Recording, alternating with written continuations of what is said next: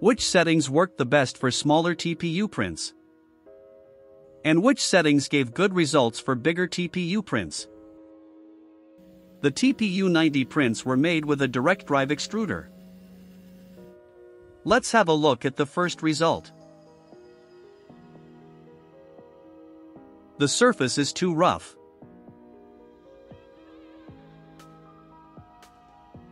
The retraction was set to 7 mm, which was too high. Probably too little plastic was available for extruding. The second result was smooth, because retraction was turned off. Only the inside was a bit too rough at some points. It was rough where most travel movements took place. The part was also messy around these travel points after printing. I changed the retraction again to get the best result. The third result had the best of the first two combined. The retraction was turned on again and set to 2 mm.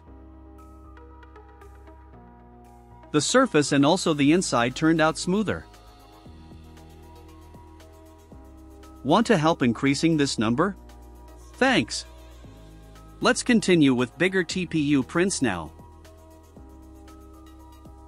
This print has many blobs on the surface.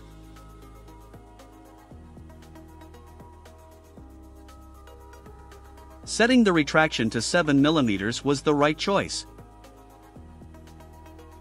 The plastic had no time to reach the surface while the extruder was traveling. Get commercial access to all my 3D files here to sell 3D prints. Also check out my design and engineering channel where I post many tutorials. And have a look at my website where everything comes together. Thank you for watching. Also check out my other videos and channels.